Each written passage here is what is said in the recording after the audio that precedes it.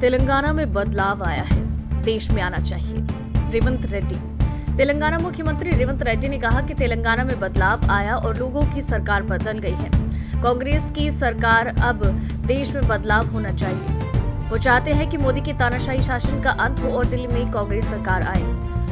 थुक्कुगुड्डा मैदान में तेलंगाना जनयात्रा की शुरुआत हुई, जहाँ कांग्रेस पार्टी शामिल हुई थी। उन्होंने आज होने वाली तुकुगुड्डा सभा पर एक्स पर एक विशेष वीडियो साझा किया। तेलंगाना नव भारत समाचार से जुगल पांडे की रिपोर्ट।